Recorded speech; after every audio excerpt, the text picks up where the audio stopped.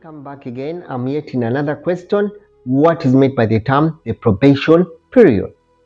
What is the probation period? That is the period that you are going to serve that sponsor or that company that recruited you from wherever it recruited you as a means or as a way to showcase or demonstrate what you call your skills and ability. To some people that have got this opportunity, during the probation period, you've got what you call on company training, uh, uh, on site training, machine training. Yes, that's where they're going to prove you are going to prove your ability and skills that to that employer that you are willing to work and you are physically you are fit enough to perform the tasks. This is going to show a lot of things for those people that have been in this period for the six months or depending on which kind of company you're working and depending on which kind of contract. This period will require you resilience, perseverance, and control of what you call your ego. Because you'll find a lot of challenges between this period. Either you're overworked in any way or you're given more working time, depending. So in this period, you are going to demonstrate your ability and skills to work. Yes. How long is the probation period? That is something that definitely also we need to understand. How long is the probation period? The probation period will depend. Will depend on the type of the contract.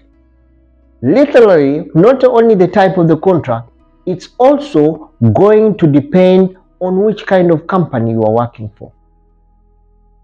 Most of the times you find most companies have the probation period, the minimum probation period being three months.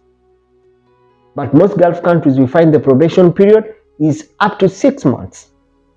So meaning that you have to make sure you prove out the skills and ability to that employer or to that sponsor in the six months period.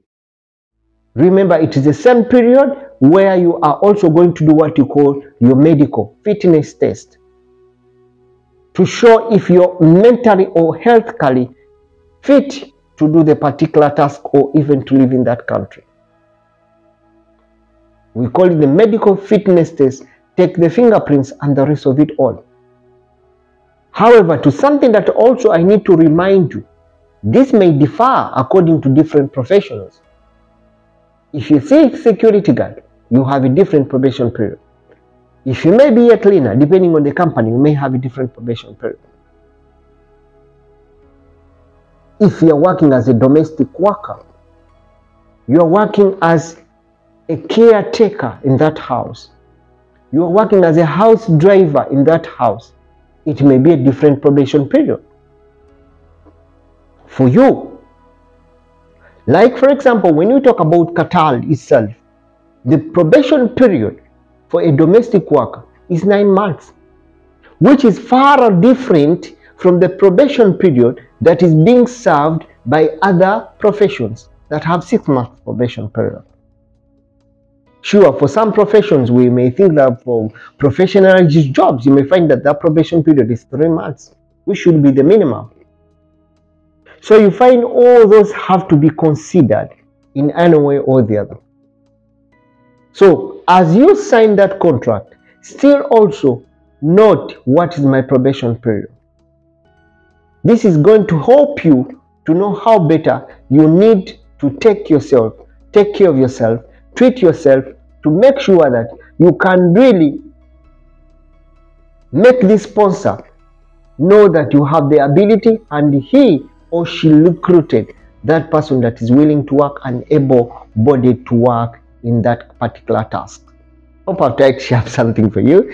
Thank you so much, Horace. You know, thank you so much for all this. Always giving you the best updates, and I will continue giving this update. Let us try to share this information. It's quite very important in any way. It's quite very important to anyone that is coming in the country, especially in this Gulf country. See you again in the next video. Remember, it's Mex from the Mex